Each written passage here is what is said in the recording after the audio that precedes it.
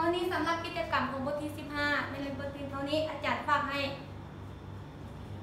นักเรียนทุกคนไปจดเอาใจความอยู่ในพื้นแบบเรียน และสุดท้ายนี้อาจารย์ขอฝากความเป็นห่วงเป็นใยนำลูกหลานนักเรียนทุกคนให้รักษาสุขภาพ และอย่าลืมแก้บทพึงหัดมาส่งครูตามที่ครูกำหนดให้เนาะ